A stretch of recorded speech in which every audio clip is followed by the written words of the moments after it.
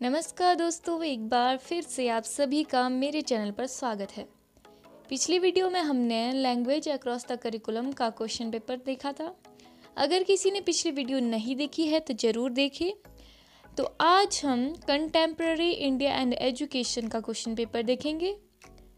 तो वीडियो को लास्ट तक ज़रूर देखें और अगर वीडियो पसंद आए तो लाइक करें शेयर करें और सब्सक्राइब करना बिल्कुल ना भूलें।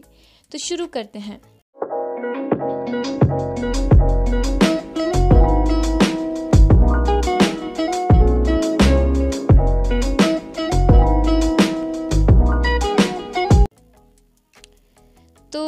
ये जो आपको इसका पेपर आएगा, वो आएगा 80 मार्क्स का।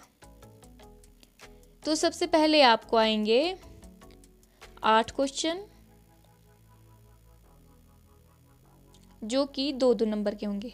तो मतलब जो पहला क्वेश्चन आएगा, वो पूरा सोलह नंबर का होगा। तो इसमें है सबसे पहले सर्व शिक्षा अभियान, शैक्षिक अवसर मिड डे मील कार्यक्रम, पर्यावरण संरक्षण के उपाय ऑपरेशन ब्लैक बोर्ड के प्रत्यय विकलांग के लिए संविधानिक प्रावधान, भेदभाव के कारक, सार्वभौमिक प्राथमिक शिक्षा। तो ये जो आपको टॉपिक दिए हैं, आपने इनको आगे इनके ऊपर शॉर्ट नोट्स लिखने हैं।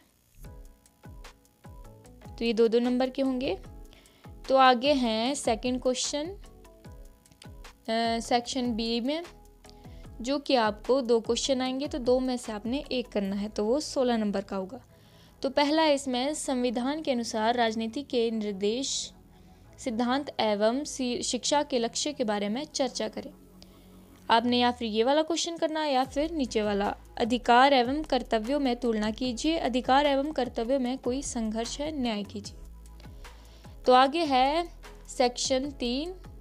तो इसमें आपको दो क्वेश्चन आएँगे, जिन दो में से आपने एक करना है तो ये भी सोलह नंबर का होगा। तो पहला है, विकलांग के परिप्रेक्ष्य में शैक्षिक समानता के अवसर के बारे में चर्चा करें। और अगला है, हाशिए वाले समूह के लिए शिक्षा हेतु संवैधानिक प्रावधान के बारे में चर्चा करें। तो आपने इनमें से एक करना है, जो कि सोलह नंबर का होगा। तो आगे सेक्शन फोर है तो जिसमें भी दो क्वेश्चन आएँगे तो उन दोनों को आपने एक करना है तो वो भी सोलह नंबर का होगा। तो पहला है, सार्वभौमिक प्राथमिक शिक्षा के परिप्रेक्ष्य में कोठारी आयोग के मुख्य सुझाव के बारे में चर्चा करें। अगला है मिड डे मील प्रोग्राम क्या है? कार्यान्वयन के परिप्रेक्ष्य में मिड डे मील की समस्या के बारे में चर्चा करें। सेक्शन फाइव है तो इसमें भी दो क्वेश्चन हैं, दो दोनों में से एक करना है, सोलह सोलह नंबर के हैं। निजीकरण क्या है? भारतीय शिक्षा पर निजीकरण के प्रभाव के बारे में चर्चा करें। और आगे है सम, सामुदायिक सहभागिता क्या है? यह कैसे शिक्षा के विकास में सशक्त सशक्त है? न्याय कीजिए। तो आपको इसमें पूरे पाँच सेक्शन होंगे। तो जो पहला सेक्शन है उसमें आठ आठ क्वेश्चन है जिसमें जो कि सारे दो दो नंबर के हैं सारे करने हैं। तो बाकी जो चार सेक्शन बचे उसमें आपको दो दो क्वेश्चन आएँगे तो दो में से आपने एक एक करना है, जो कि सोलह सोलह नंबर के होंगे। तो ये पूरा पेपर अस्सी नंबर का है।